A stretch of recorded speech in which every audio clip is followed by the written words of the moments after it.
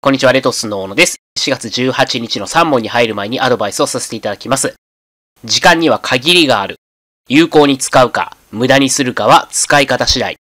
使い方が変われば結果は変わる。試験まで残り6ヶ月。この6ヶ月は受験生全員が同じ条件です。仕事をしている時間と寝ている時間。これは勉強ができないにしても、それ以外の時間は勉強に当てることができるはずです。この時間の中で、どれくらい勉強に当てることができるか、これが重要になってきます。もちろん、今までと同じように過ごしていたのでは勉強時間は作れません。忙しい、これを理由に勉強しないでしょう。でも、本当は忙しいから勉強できない、ではありません。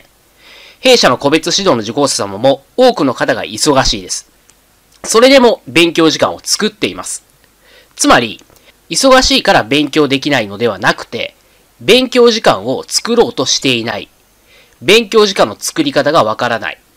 この二つが原因でしょう。この原因を解決しない限り勉強時間は作れないので、なんとか解決していきましょう。個別指導では受講者様とやり取りをしながら勉強時間を作れるようにしていきます。今からでも今年の合格は間に合いますので、自分自身で時間管理ができないという方は、一緒に勉強して今年の合格を目指しましょう。え個別指導についてはこの動画の下の概要欄に URL 貼っておきますので、ぜひご確認ください。それでは本日の3問に入ります。不法行為に基づく損害賠償債務は、不法行為の成立と同時に履行地帯となる、丸か×かという問題です。考えたい方は動画一旦ストップしていただいて、この動画の下の概要欄から問題文ご確認ください。答え、丸ですね。不法行為に基づく損害賠償債務っていうのは、不法行為の成立と同時に履行地帯となります。これさらっと読むと分かりづらくないですか？この文章っていうのはさらっと読むと分かりづらいんですね。で、これは具体例を出すと非常に簡単に理解できます。例えば、あなたが事故などで怪我をして入院した場合をイメージしてください。あなたは被害者で、まあ、別途加害者がいるということですね。えあなたは入院費をすぐにでも払ってくれって思いませんか？すぐにでも相手方に損害賠償請求したいですよね。加害者に対して損害賠償請求したい。ここで履行地帯の発生時期っていうのは、加害者が被害者から非難されるべき時ですよね。まあ、これは、えー、昨日の動画とかでもお伝えしていると思います。つまり、被害者であるあなたから非難されるべき時、ここから履行地帯となるわけですよ。つまり、事故が発生した時から、すぐにでも損害賠償請求したいということは、事故が発生した時から加害者は非難されるべきなんですよね。つまり事故が発生した時から履行地帯になりますよということなんですね。で、言い換えると事故が発生した時っていうのは不法行為が成立した時なんで、この時期から履行地帯になるということです。これは被害者救済のためのルールなんですね。まあ、イメージできれば忘れにくくなりますし、試験前に勉強したのに覚えられていないとならずに済むんですね。無駄な勉強したくないという方は、ぜひですね、え個別指導ご検討ください。もう多くの方がもう無駄な勉強をしてるんですよね。無駄な勉強っていうのは、この部分をそのまま覚えるっていう方です。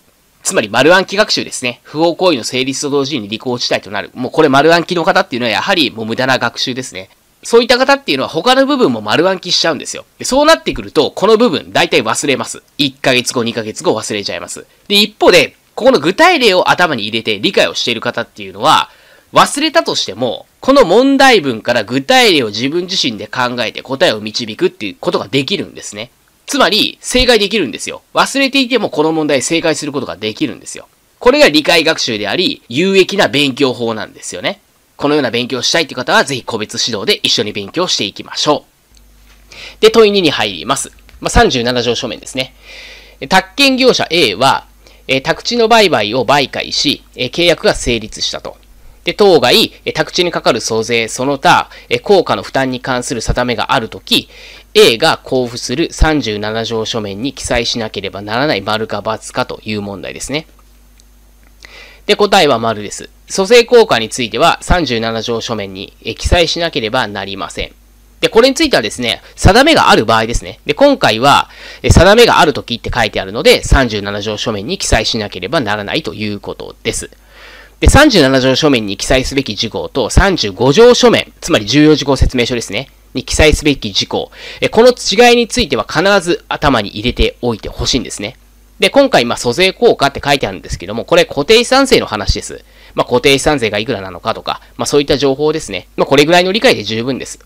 で、固定資産税が年額、えいくらなのかっていうところを、まあ、記載するんですけども、まあ、細かい部分までは覚えなくても大丈夫です。で、近年のこれ出題ポイントの一つになってるんですね。で、しかも2問以上出る可能性も、えー、あるんですよ。この35条書面、37条書面の違いとかですね。だから、絶対に頭に入れておきましょう。で、この35条書面の記載事項と37条書面の記載事項の覚え方については個別指導で解説しています。覚えるのが苦手な方はぜひ個別指導をご活用ください。で、個別指導についてはこの動画の下の概要欄に URL 記載しておきますのでご確認ください。で、問い3ですね。えー、農業者が住宅の改築に必要な資金を銀行から借りるため、市街化区域外の農地に抵当権の設定が行われ、その後返済が滞ったため、当該抵当権に基づき競売が行われ、第三者が当該農地を取得する場合であっても、農地法3条または5条の許可を受ける必要がある、丸か×かという問題です。答えはこれ、丸ですね。競売によって農地を取得する場合も例外じゃないんですよ。競売により農地を取得する場合、3条許可または5条許可が必要です。まあ、この違いっていうのは、まあ、3条は農地を転用しない場合ですね。つまり、この農地を取得するものがそのまま農地として使う場合は3条許可が必要で、5条許可の場合は、農地を別の、えー、農地以外のものに転用する場合、例えば住宅を建てたいとかね、えー、そういった場合は5条許可が必要になってきます。で、なぜ競売によって農地を取得する場合に許可が必要なのか。こういった理由を知っているのと知らないのとでは、実力が天と地ほど変わってくるんですね。理解をしていると忘れにくくなります。応用問題にも対応できるようになります。しかし、ほとんどの不合格者が、このような理由を考えずにそのまま覚えてしまってるんですね。で、結果として応用問題は解けないですし、すぐ忘れてしまいますし、結局合格点が取れないということになります。まあ、そうならないために理解学習を行っていただければと思ってます。理解学習を実践したい方は個別指導で今すぐ実践していきましょう。今回の競売について、なんで3条許可、5条許可が必要なのか、この点についても解説しておりますので、ぜひですね、個別指導で一緒に実力を上げていただければと思います。個別指導の動画については、左上の動画からぜひご覧ください。今日も最後まで動画ご覧いただきましてありがとうございました。宅建合格目指して一緒に頑張っていきましょう。